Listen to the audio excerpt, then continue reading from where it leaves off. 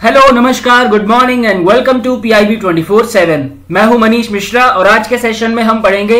economic stimulus part four of the Atmanirbhar Bharat package तो चलिए start करते हैं आज का session guys but before we begin there is one correction जो कि पिछले सेशन में है. पिछले सेशन में हमने पढ़ा था about the amendment in the essential commodities act so in the PPT it was written essential commodities act 1995 but we all know that essential commodities act was enacted in the year 1955 okay so by mistake वो 1995 लिख, लिखा हुआ था so आप अपने notes में इसको correct कर लें to 1955 now let's talk about the fourth tranche of Atmanirbhar Bharat which focuses towards the fast track investments in the following eight sectors and ये eight sectors कौन से हैं coal mineral defense civil aviation power distribution social infrastructure space and atomic energy so in आठ sectors में fast track investment करने के लिए announcement की गई थी in the fourth branch of this package so now let's talk about the coal sector so guys in coal sector commercial mining में competition transparency और प्राइवेट सेक्टर पार्टिसिपेशन को encourage करने के लिए रेवेन्यू शेयरिंग मैकेनिज्म को promote किया जाएगा। Revenue sharing mechanism will be promoted now what is this revenue sharing mechanism so let us से there is a company A जो कि माइनिंग का काम करती है ओके okay? इससे पहले यह प्रोविज़न था कि जब ये कंपनी माइनिंग का काम करेगी तो इनको पर टन पर टन के हिसाब से इनका जो भी पैसा होगा या जो भी फ़ीस होगी वो मिलेगी। बट नाउ अब क्या होगा कि ये जो माइनिंग uh, होगी ये होगी रेवेन्यू शेयरिंग बेसिस पे। रेवेन्यू शेयरिंग बेसिस का मतलब ये होगा कि अब गवर्नमेंट ऑफ़ इंडिया और ये जो कंपनी है दोनों आपस में मिलकर रेवेन्यू को शेयर करेंगे। इससे होगा ये कि ज़्यादा से ज़्यादा माइनिंग कंपनियाँ जो है वो मोटिवेट होंगी for the commercial mining right and इसके अलावा जो भी एंट्री नॉर्म्स हैं, उनको लिबरलाइज कर दिया गया है, जो कि पहले सम कंडीशन से बाउंडेड थी। एंड इसके बाद nearly 50 blocks will be offered immediately for the commercial mining 50 blocks को ऑफ़र किया जाएगा commercial mining immediately other than this guys जो पार्शली एक्सप्लोर्ड ब्लॉक्स थे पार्शली एक्सप्लोर्ड ब्लॉक्स थे, उनको प्रोडक्शन की इजाज़त नहीं थी। उनके अंदर केवल एक्सप्लोरेशन का काम चलता था। But now after this announcement exploration cum production is announced for partially explored blocks जो कि पहले केवल फुल्ली एक्सप्लोर्ड कोल ब्लॉक्स के लिए अलाउड था। राइट एंड इसके अलावा गाइज़ जो भी शेड्यूल टाइम है, उससे पहले अगर प्रोडक्शन कर ली गई then that will be incentivise through rebate in the revenue share revenue share में उनको रिबेट दिया जाएगा अगर शेड्यूल टाइम से पहले प्रोडक्शन को कंप्लीट कर लिया गया तो।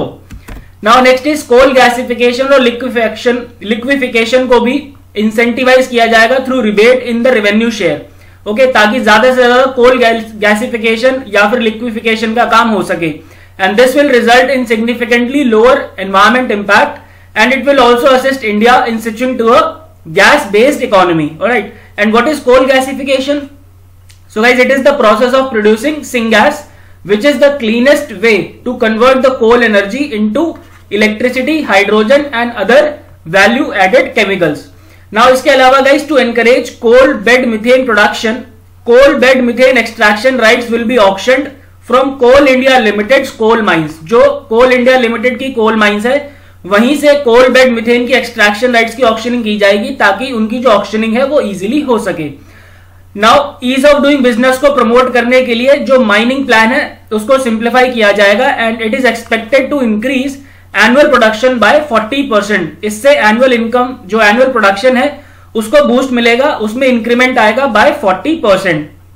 and there will be an infrastructure development of rupees fifty thousand crore पचास हज़ार करोड़ रुपए का इंफ्रास्ट्रक्चर डेवलप किया जाएगा, ताकि जो कोल इंडिया लिमिटेड का टारगेट है of producing one billion ton coal one billion ton coal by 2023-24 उसको पूरा पूरा किया जा सके, उसके लिए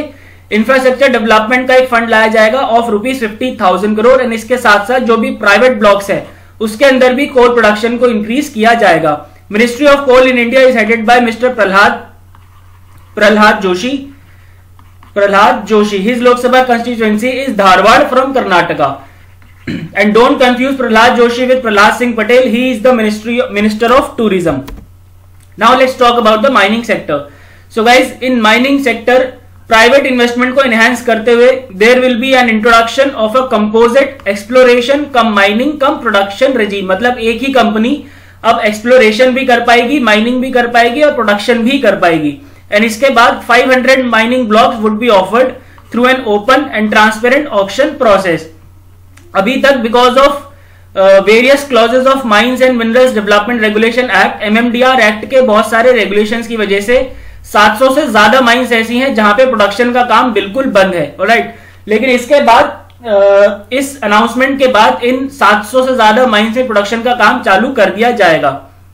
right and there will be a joint auction of bauxite and coal mineral blocks जो कोल मिनरल ब्लॉक्स है और बॉक्साइट है, उनकी ज्वाइंट ऑक्शनिंग की जाएगी। And this has been done to boost the manufacture manufacturing of aluminium industry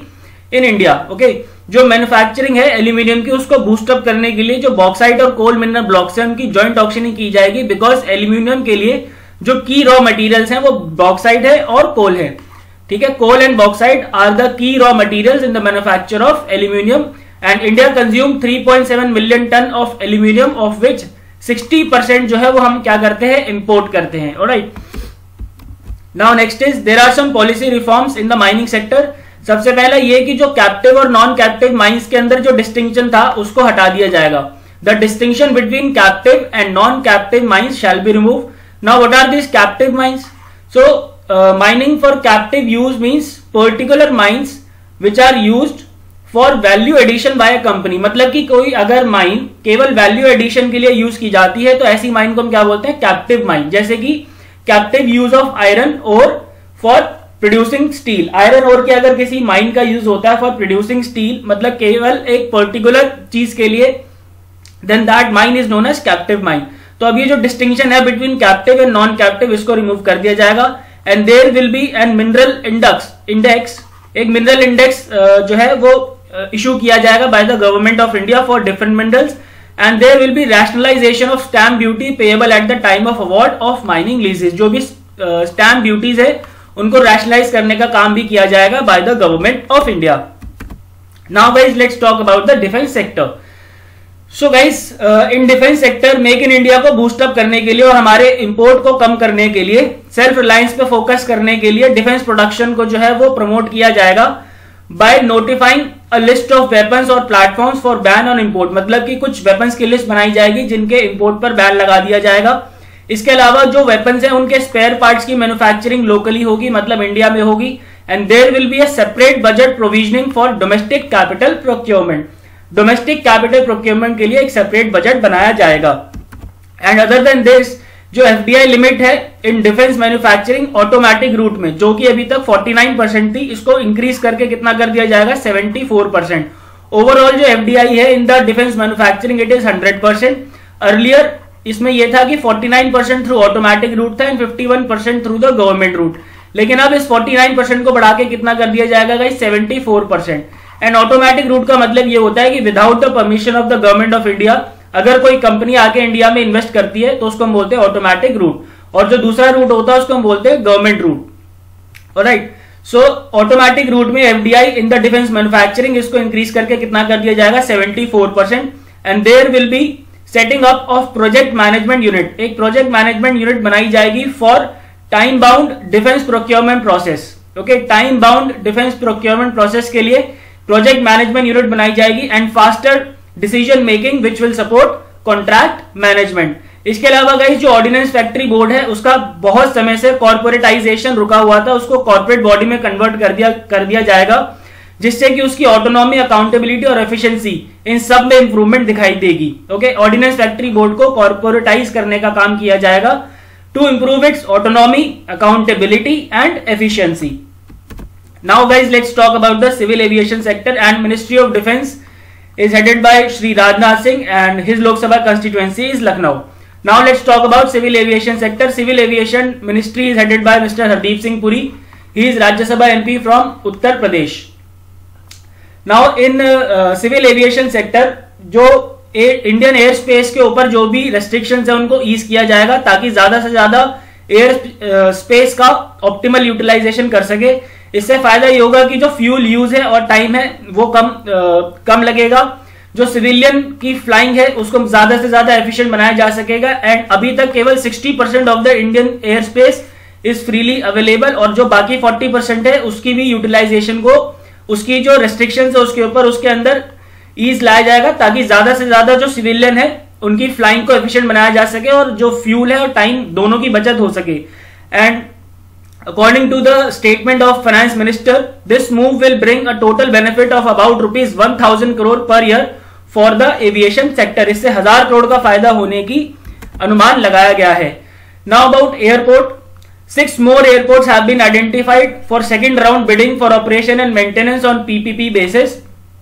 And जो इसके अलावा additional investment by private players in 12 airports 12 airports में प्राइवेट प्लेयर्स इन्वेस्ट करेंगे in the first and second round और इससे तेरह हज़ार करोड़ रुपए की इन्वेस्टमेंट आने का अनुमान है by the government of India and another six airports will be put out for the third round of bidding basically हमारे देश के जितने भी एयरपोर्ट्स हैं, उनको वर्ल्ड क्लास बनाने के लिए यह अनाउंसमेंट की गई है ताकि ज़्यादा से ज़्यादा उसके अंदर प्राइवेट प्लेयर्स आए और उसमें इन्वेस्ट करें और जो भी हमारे एयरपोर्ट्स है, उसको वर्ल्ड क्लास बनाए। नाउ नेक्स्ट इज़ इंडिया को एक ग्लोबल हब बनाया जाएगा for aircraft maintenance repair and overhaul aircraft maintenance repair and overhaul that is MRO और जो एमआरओ का इकोसिस्टम है, उसके लिए जो टैक्स रजीम है, उसको रैशनलाइज किया जाएगा ताकि जो कॉस्ट कटिंग है, वो हो सके। Other than this aircraft component repairs and air frame maintenance to increase from 800 crore to 2000 crore in तीन साल तीन सालों के अंदर इसको बढ़ाया जाएगा from rupees eight crore to rupees 2000 crore. Other than this, there will be convergence between defense sector and the civil MROs. MRO stands for aircraft maintenance, repair and overhaul. Uh, that will be uh, that will be established to bring down the maintenance cost of airline. जो भी cost of airlines है maintenance uh, cost जो है airlines की उसको कम करने के लिए डिफेंस सेक्टर और सिविल एमआरओ में कन्वर्जेंस uh, किया जाएगा now guys let's talk about the power distribution sector ministry of power It is headed by Mr. R.K. Singh. His Lok Sabha constituency is Ara. So now there are some tally, uh, tariff policy reforms that is that is to be announced and that is to be introduced in the power distribution sector. और ये जो जितने भी reforms होंगे these are expected to focus on three things that are consumer rights, promotion of industry and sustainability of the uh, sector. okay, कुछ tariff policy reforms जो है announce किए जाएँगे जो कि तीन चीज़ों पे फोकस करेंगे और वो तीन चीज़ें कौन सी हैं consumer rights, promotion of industry and sustainability of the sector. And other than this, जितनी भी यूनियन टेरिटरीज है उसमें जो भी पावर डिपार्टमेंट्स है उनको प्राइवेटाइज कर दिया जाएगा ताकि उनकी ऑपरेशनल और फाइनेंशियल एफिशिएंसी को बढ़ावा मिल सके ताकि उनकी ऑपरेशनल और फाइनेंशियल एफिशिएंसी को इंप्रूव किया जा सके। Right now guys let's talk about the social infrastructure projects so social infrastructure project का मतलब क्या है? Uh, ऐसे project like for example hospital हो गया स्कूल हो गया तो ये सारे के सारे किसके अंदर आते हैं? सोशल इंफ्रास्ट्रक्चर प्रोजेक्ट्स के अंदर आते हैं ओके सो नाउ जो गवर्नमेंट है is expected to invest rupees eight thousand one hundred crore through viability gap funding okay viability gap funding के through eight thousand one hundred crore rupees government invest करेगी. Now what is this viability gap funding so guys ये ऐसी funding होती है, ऐसे projects में funding होती है, जो जो प्रोजेक्ट्स इकोनॉमिकली जस्टिफाइड है, लेकिन फाइनेंशियली वायबल नहीं है. राइट वायबिलिटी गैप फंडिंग का मतलब है to fund in those projects that are economically justified but they are not financially viable no इसका एक एग्ज़ाम्पल हम ले सकते हैं जैसे कि आपने उड़ान स्कीम के बारे में सुना होगा उड़े देश का आम नागरिक। तो इसमें क्या है कि बहुत सस्ती टिकट्स हैं फ़्लाइट की जिससे कि एक नॉर्मल सिटीजन भी जो है फ़्लाइट का यूज़ कर सके और अपना टाइम बचा सके। सो so, क्योंकि ये बहुत ज़्यादा इसमें सस्ती फ्लाइट्स की जो टिकट है वो काफ़ी ज़्यादा सस्ती हैं। तो ये जो स्कीम है ये इकोनॉमिकली तो जस्टिफाइड है लेकिन फाइनेंशियली उतनी वायबल नहीं है बिकॉज़ इसकी जो फ़्लाइट की टिकट है बहुत ज़्यादा सस्ती है इसमें लॉस होने का अनुमान रह सकता है। सो so, ऐसे प्रोजेक्ट्स को गवर्नमेंट इसलिए बढ़ावा देती है ताकि ज़्यादा से ज़्यादा लोगों तक इसकी रीच पहुंचाई जा सके। अब जैसे अगर हम इस पर्टिकुलर स्कीम की बात करें तो ये एक समय के, के आने के बाद ये ज़रूर प्रॉफिट में कन्वर्ट होगा क्योंकि जब ज़्यादा से ज़्यादा लोग फ्लाइट्स का यूज़ करने लगेंगे तो कम टिकट्स में भी जो कंपनीज़ है वो बेनिफिट वो अपने प्रॉफिट को अर्न करने लगेंगी। Right through viability gap funding government will invest rupees 8100 crore rupees okay and earlier ये था कि जो वीजीएफ है यानी कि वायबिलिटी गैप फंडिंग में जो गवर्नमेंट है वो केवल 20 परसेंट देती थी. यानी कि टोटल प्रोजेक्ट कॉस्ट का 20 परसेंट थ्रू वीजीएफ दिया जाता था. But now the central government will increase it share in VGF to 30 percent in the future जो सेंट्रल गवर्नमेंट है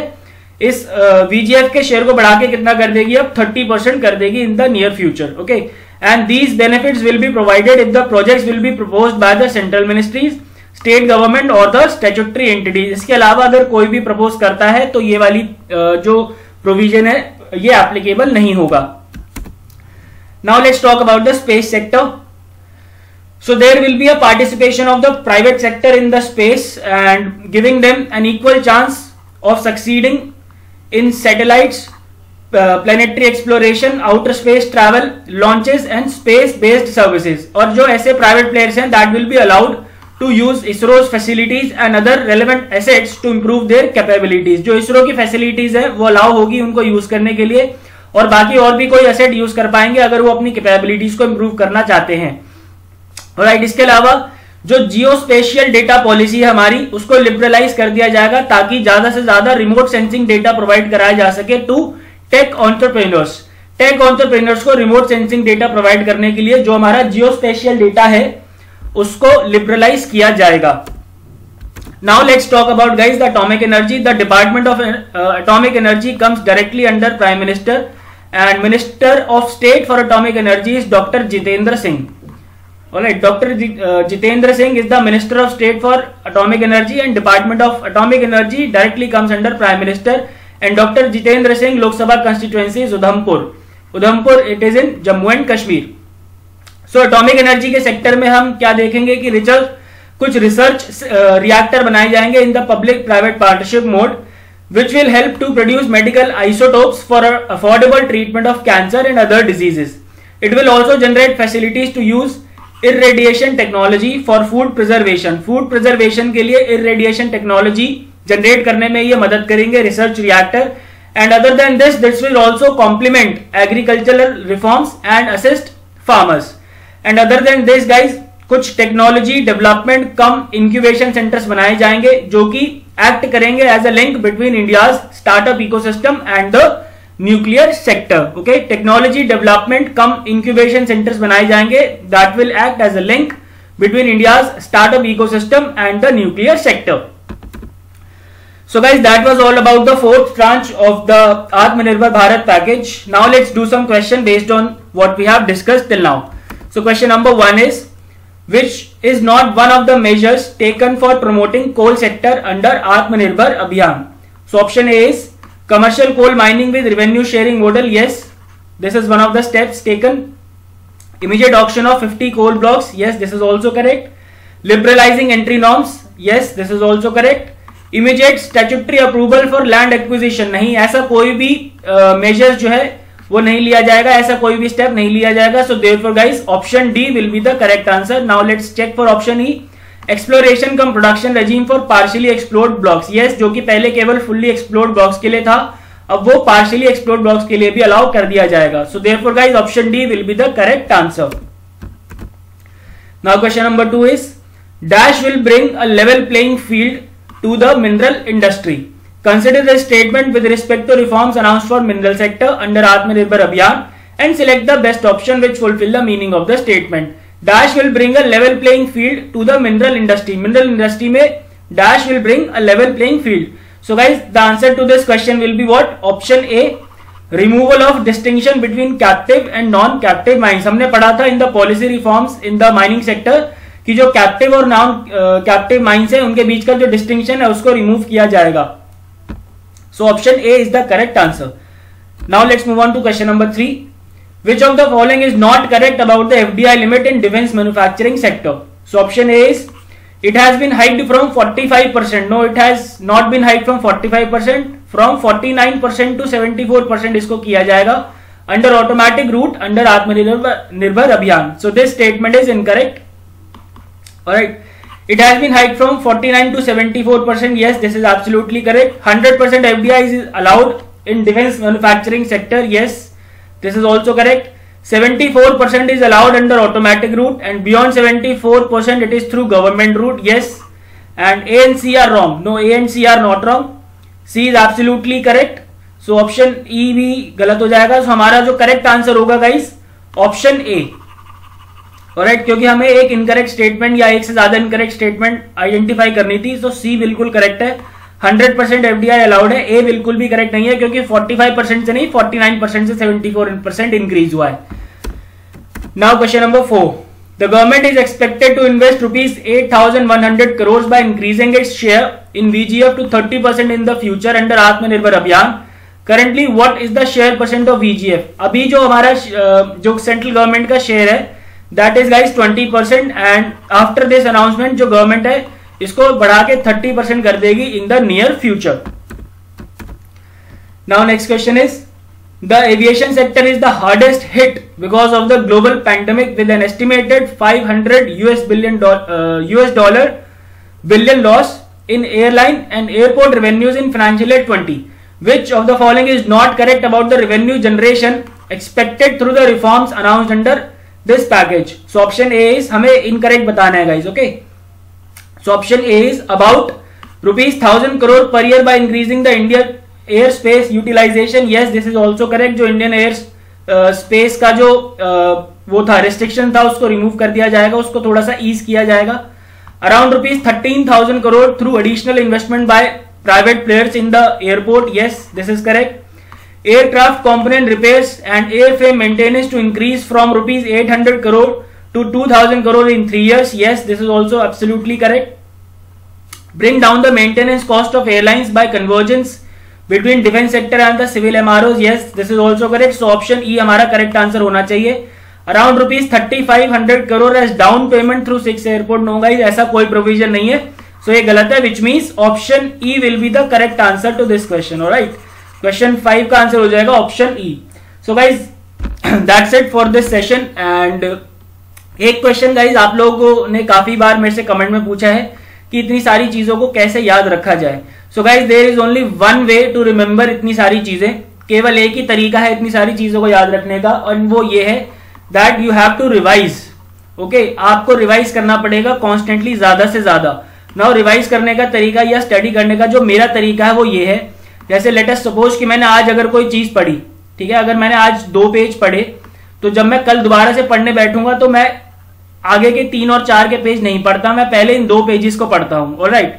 सो अगर ये दो पेज मैंने पहले दिन में एक घंटे में पढ़े थे और राइट तो नेक्स्ट डे मेरे को आधा घंटा लगेगा, उसके बाद मुझे पंद्रह मिनट लगेंगे एंड एक टाइम ऐसा आएगा जब ये दो पेज मेरे दिमाग में बिल्कुल बैठ चुके होंगे राइट सो इस तरीके से कॉन्स्टेंटली रिवाइज करते हुए चीज़ों को दिमाग में रखा जाएगा। इसके अलावा अगर आपको कोई बताए कि ये ट्रिक फॉलो करो, वो ट्रिक फॉलो करो तो गाइज़ ट्रिक भी तो आपको at the end of the day याद ही रखनी पड़ेगी। तो कितने ट्रिक्स याद रखोगे? बिकॉज़ क्वांट्स में अलग है रीजनिंग में अलग है जनरल अवेयरनेस में अलग है। और अगर आप यूपीएससी की तैयारी कर रहे हैं तो उसमें तो ट्रिक्स याद करने का मतलब नहीं है because there is an ocean of syllabus right PSC में भी सेम है आरबीआई ग्रेड बी में सेम है। तो आप ट्रिक्स के पीछे मत भागे। इंस्टेड आप रिवीजन करें ज़्यादा से ज़्यादा। जितना ज़्यादा से ज़्यादा आप रिवाइज करेंगे, उतना ज़्यादा से ज़्यादा आपके दिमाग में रहेगा। Right so for more updates do subscribe our channel and press the bell icon मिलते हैं नेक्स्ट सेशन में। Thank you so much for watching goodbye take care and God bless